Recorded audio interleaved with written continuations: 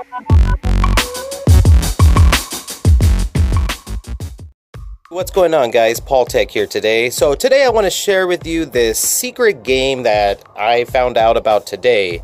So some of you might already know about it, this might not be anything new to you, but for me this is brand new, I've never been aware of this, so I figured if I'm not aware of it, there's probably other people out there that don't know about this either. So therefore I figured let me go ahead and post a video about this. So this is a game that is in Messenger, so I'm going to go ahead and uh, click on my Messenger here real quick. All right, so I'm on my messenger here. So uh, I'll send this to myself, but you can send this to any one of your contacts in Messenger. So I have a couple YouTube buddies. I'm going to send this out to you guys. Uh, TechRight, I'll send one to you, and Aloha Android as well.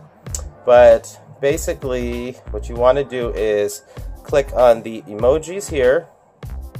And then once you click on the emojis, next click on the basketball there. Okay, so let's send it. So after you send it, then go ahead and click on the basketball emoji there. Okay, so I sent it, so I'm gonna click on it now. And then it brings up this game here, this basketball game, and you basically just shoot some hoops here, and you try to get a really good score. Okay, so I got one, of course, I'm pretty terrible at this.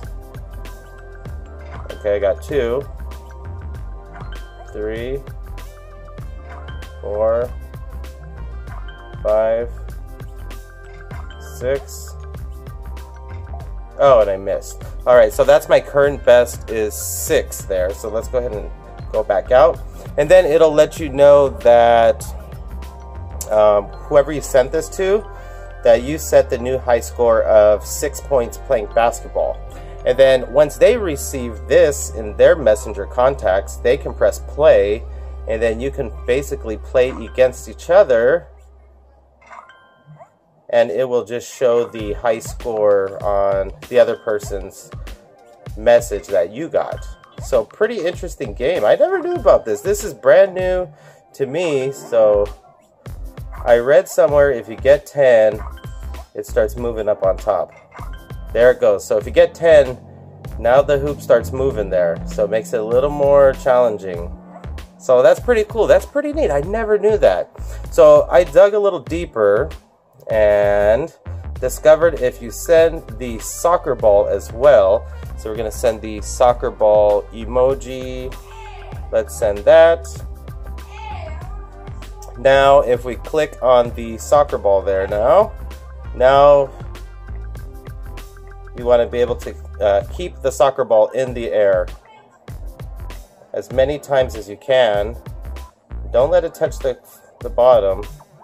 And this is just another game that there is, so I'll stop there. Four is my high score.